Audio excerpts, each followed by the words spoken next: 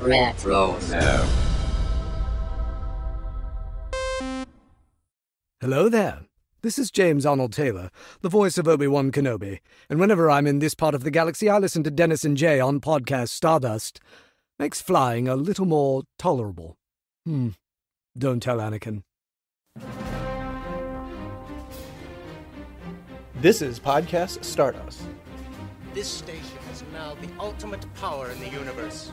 With Dennis Keithley and Jay Krebs. Your behavior is continually unexpected. The galaxy source for Star Wars news, reviews, and discussion. Now witness the firepower of this fully armed and operational battle station.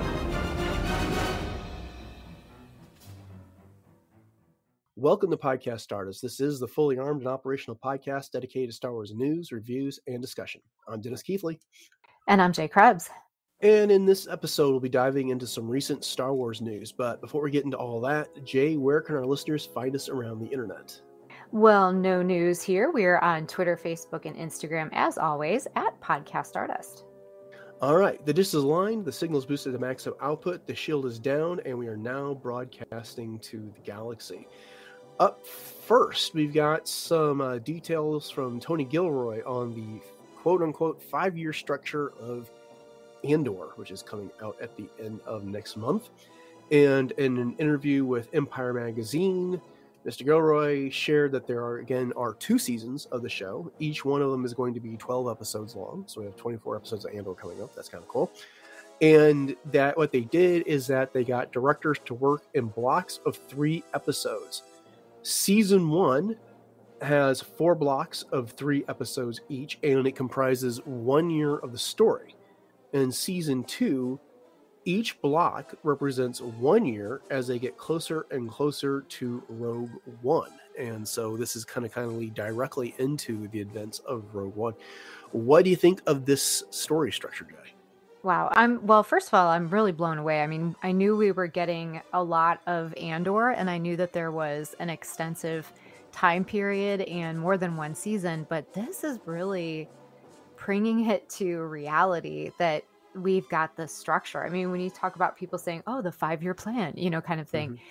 Mm-hmm. Here it is. And I know I was seeing this this picture coming up on all the socials and people were just absolutely going crazy over it. But I do like the idea of having these three episode arcs um, with one director each. So it's it's kind of following in the f- same footsteps as The Mandalorian in that way for sure, and the Book of Boba Fett with you know having different different directors and doing different types of themes and whatnot. But I, I do think it's cool that it's so precise in following this recipe so to speak that each one of these these arcs is going to be a year mm-hmm. and so that really does kind of help i think in my mind anyways to kind of try to place the timeline in exactly where it needs to be um, but it seems really organized and it seems like they've really got a lot of this this figured out with these 24 episodes and that's of course, you know, how exciting is that? I mean, we're, we're already talking about Andor here, so I think it's amazing. But uh, what were your thoughts?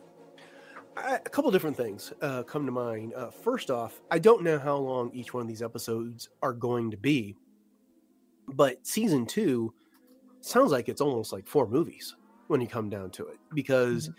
if those episodes are 45, 50 minutes a piece and you put three of them together, you know to form a block that tells the story of one year you're, you're talking about most of a movie right there which i think is really cool so in uh, opposed to getting four or five Cassian Andor movies, prequels to Rogue One. We're getting them all on Disney Plus, broken out this way. So I really like that, and it is fun to have weekly Star Wars to look uh, forward to. It's always great getting a movie at the end of a year and living up with all, uh, you know, enjoying all the hype and living it up with that and seeing all the teasers and things that get released. But I really do dig being able to sit down once a week and watch something new that's Star Wars related, whether it's animated or, or live action. Two, I am really, really hoping that they do get Alan Tudyk sooner rather than later for season two of Andor and get him to reprise K2SO. So we know that story. It was a one shot that was released in the comics, but they could have the immediate aftermath mission, or they could do something early on with him. And I hope that K2SO comes back and plays a prominent role in several of those stories over the course of season two. Oh, me too. And I think at this point, really the sky's kind of the limit. I mean, we've got our, our base crew, so to speak, that we know of for sure that are going to be returning. Um, and but beyond that, I think that there's really a lot of creative opening for you know being able to to put different things in and and explore different elements and i would love to be able to see some crossover even with something like rebels since this is going to be you know right up to the point of rogue one and you know it would kind of make sense that there would be some intertwining of that too i mean that's that's definitely something that would be on my wish wish list. I know for sure. Uh, in addition to having Alan Tudyk back as K two, but do, do, you have any other types of wish list kind of items that you'd like to see, or any plot points that you specifically would like to see explored?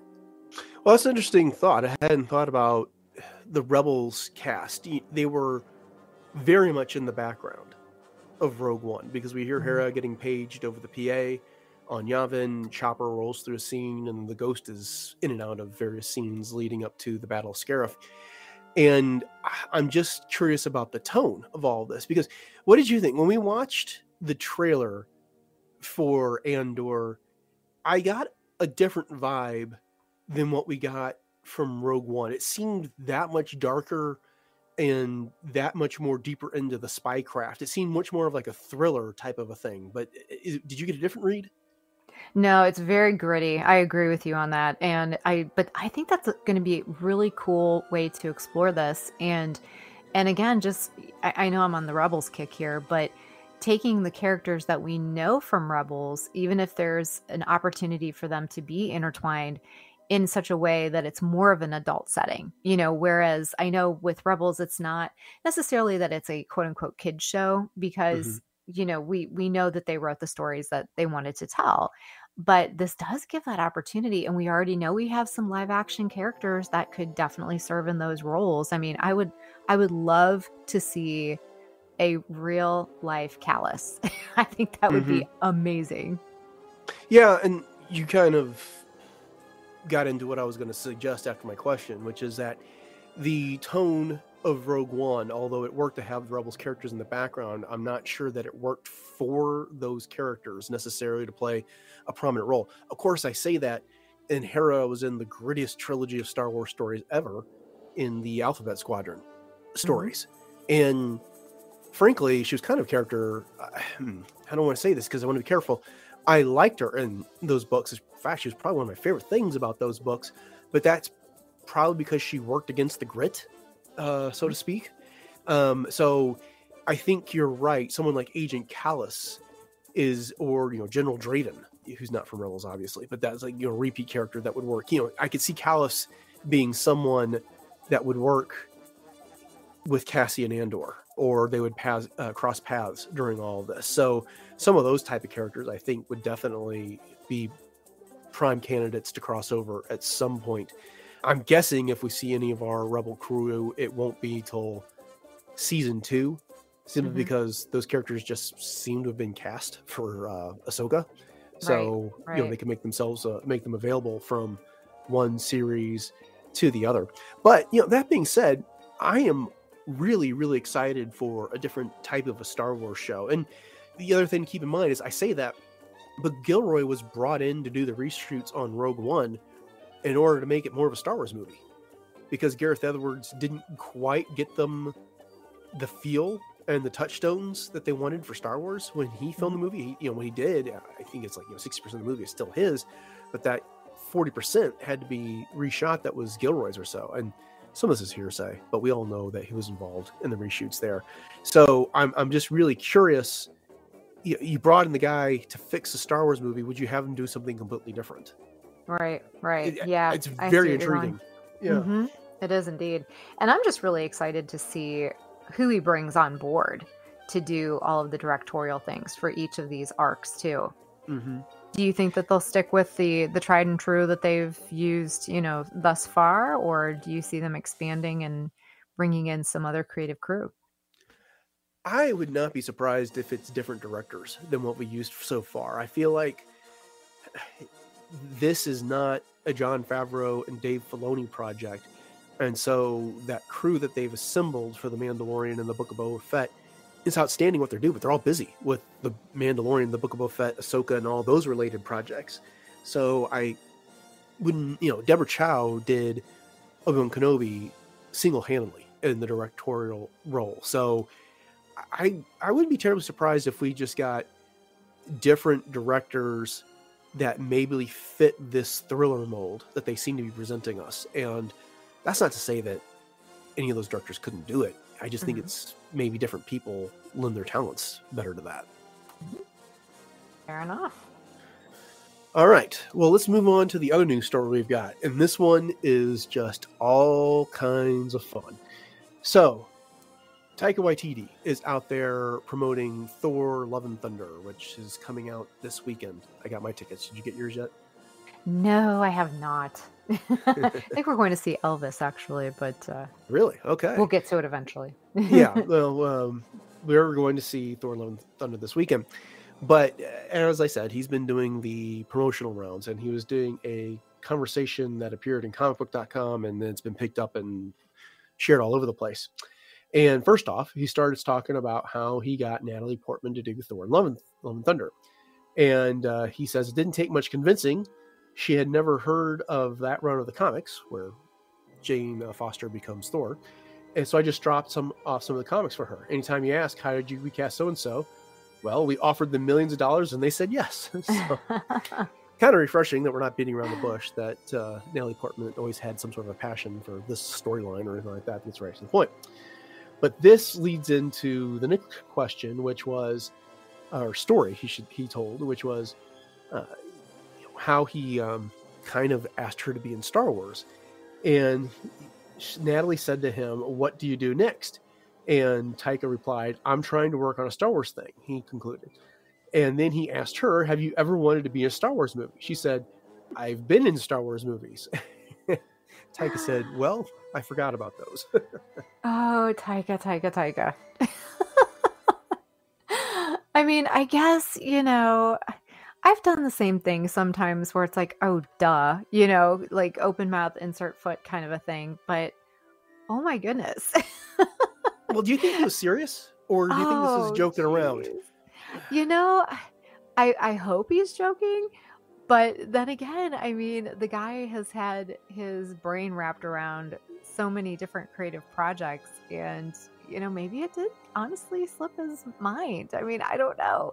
It's it's I'm laughing because you know, I can just see him and hear him saying this and then Natalie being like, "Um, I was in Star Wars movies." Because it's not like she was just some side character. You know what no, I mean? no, or no. that she, she, had a was very important role. I mean, Yeah. what do you Yeah. think? well, I mean, you and I live, eat, and breathe Star Wars every day of the week when it comes down to it. Taika's got his fingers into a lot more projects, and so I could see him kind of making the elevator pitch. You know, he wants big names to attach to this, and um, and so you know he's talking, and then it slips his mind. Also, I mean, think about how young Natalie Portman was in the Phantom Menace. Mhm. and so her career is gone in quite a different direction since then. I mean, Thor and the MCU is the closest thing she's done to Star Wars since then. A lot of her stuff has been a bit more on the dramatic side, so I could see why maybe this would not have been something that was foremost on his mind. Um, so yeah, I mean, I, I really hope it was just kind of a slip on his part, and that you know it was not. I, I could see someone twisting it into the whole, you know, oh, he thinks George Lucas's movies were terrible, you know, the prequels, or Oh, Natalie. Portman's role is bad. And I don't think it was anything like that at all. It's just a, um, it's just an interesting thought. Okay, so that aside, who from the MCU that's not been in Star Wars that you know, especially the people that we know are in Thor Love, um, Thor Ragnarok, and now they're going to be Thor Love and Thunder, would you like to see get cast in Star Wars? Oh gosh, the list would be definitely long. I think Tom Hiddleston comes to mind Yeah. right away. I think he would be he's such a versatile actor and I just think that he would be absolutely amazing in Mhm. just about any role that you would throw at him. So he would he's he's the number one. I think that I that would be just just incredible. And probably, you know, Chris Pratt, he's a, another really versatile actor. He's got so many different types of credits to his name and he can do everything as well. I mean, he can do comedy, he can do serious, he can do action um, and he's he's one of those kind that I think his his whole demeanor and his look can very easily lend itself to just about any role. So those are the the first two that that come to mind for me. But uh, what about you? Yeah, Chris Pratt strikes me as very much the smuggler Han Solo type. I think he'd Oh, be excellent in a role like that. Uh, Tessa Thompson, uh, Valkyrie, I think Oh, she would be fantastic in a Star Wars role. I mean, Natalie's done Star Wars, so you know we can't necessarily use her again. But I think Tessa would be fantastic, and you know if you had her, I don't know, I, she could do a lot of the same roles that Natalie could have done if you wanted. Um, so I think she a good be choice. I really liked your thoughts on Tom Hiddleston. Uh, I think he would be suited for so many different things. He could play a villain, whether you're talking an Imperial, First Order, or some other regime. He would be uh, fantastic as kind of the character like um, uh, Kumail Nanjiani did in Obi Wan. You know that untrustworthy uh, character that gets brought. You know that ends up finding a true path. You know, kind of like Mhm. what Loki did in the Loki series. Uh, but yeah, he he's got a lot of range. He'd be fantastic as well. I'm trying to decide what I think about Chris Hemsworth and his potential in Star Wars. And I don't know that he couldn't do it. I'm just not sure how many roles he'd be ideally suited for because he is such an action guy. I feel like he would have to be like action forward. And the thing that comes to mind most would be some sort of a Jedi set during the High Republic, is what I Ah. think of for him. You read my mind because I'm thinking, or even not him per se, but you know, put him into a costume and he could be Sskeer, or you know, he could be Loden Greatstorm. I could totally see him pulling off Loden Greatstorm, or even Buckets of Blood. You know, Mhm. something like that in live action. Yeah, yeah. I don't know. It's just like if you're going to Chris, Chris Hemsworth, I think this is someone you don't cover up with a bunch of makeup. Is he's that type of an actor uh, right now, and um, they'd want they'd want that boyish charm of his on screen first and foremost. Not, not uh, so. I don't know. We'll see. Um, you know, other characters. You know, we've talked about this a bit before, especially when it came to Kevin Feige and the fact that you know, he's working on some sort of a Star Wars project and he's talked to an actor that he's familiar with about being in the movie and you know, i've recently seen chris evans say that he would really really like to do star wars you know that's like my stellan Oh. gios role that i've always that's Oh, the guy i've always cast for that uh, so I, i'd like to see him there's a lot of characters or a lot of actors i should say from the mcu that would be fantastic additions to star wars Oh, for sure. well, we don't have anything else in the news, but uh, as I was saying the other day, I've been watching a lot of Star Wars uh, on TV and reading a lot of Star Wars. I've opened up the Marvel Unlimited uh, app and read a whole bunch of Star Wars comic books recently. And I came across the image of Ahsoka and Luke Skywalker standing next to each other. So I've been wanting to ask you this question, Jay. How do you think those two met? That is a really great question. Oh, I've not actually thought about that. I mean, I guess the easy answer is that somehow Ahsoka found herself in her travels, you know, coming somewhere where Luke had his his new Jedi temple kind of a thing. But honestly, gosh, I would really have to think about that when you put me on the spot there. So, Mhm. I mean, obviously you've had some time to think about this. So, what do you what do you think? Well, so I've been watching binge watching the Clone Wars, and I ended up at the uh, end of season three with the two part episode Padawan Lost and Wookiee Hunt, where Ahsoka met Chewbacca. And so I'm wondering if Chewbacca didn't have something to do with the way Oh, Luke and Ahsoka met out there. I mean, the conversation we've had a lot since Revenge of the Sith, and by me, I mean we as in uh, the greater Star Wars fandom community, is that Chewbacca knew Yoda, right? So, you know, this would have been something that Luke and Chewbacca could have talked about. But, you know, perhaps um, you know, Ahsoka heard of this Jedi that was out there that defeated Darth Vader and the Emperor, and somehow got word that Chewbacca was involved with the rebellion was going on, and that's how the introduction got made. I don't know. I just Hmm. it's it's the uh, these were two episodes you and I talked about once upon a time on Starship Sabers and Scoundrels, and I hadn't really thought about them much. But then after I saw that image of Luke and Ahsoka together, and then this episode where they're uh, Ahsoka and these other younglings decide to take the fight to these Trandoshans that have kidnapped them and are hunting them for sport, and they take down the uh, transport the Trandoshans have, and Chewbacca just happened to be on it, so they make an alliance with Chewbacca, and I was like, Chewbacca like low key knows everybody behind the scenes it's so true. and so I mean, you know, he's always kind of quiet and just kind of sits around unless he's talked to or something like that. But uh, I just can't help but wonder if you know at some point Luke just happened to mention he was looking for surviving Jedi or people that did this, that, and the other, and Chewbacca's like, well, you know, there was that one Padawan once. And I, I don't know. It's just as a a weird thing. I, I feel like there is a whole game of six degrees of Star Wars that can be played with him. Oh yeah, for sure, for sure. Yeah, and and I'm thinking about that now, and you're right. I mean the the reach of Chewbacca, so to speak, is a lot farther than I guess I had really ever thought about. And now Mhm. that you you start talking about this, it's yeah, it's really kind of mind blowing how many different connections he actually had with with different characters and things along the way.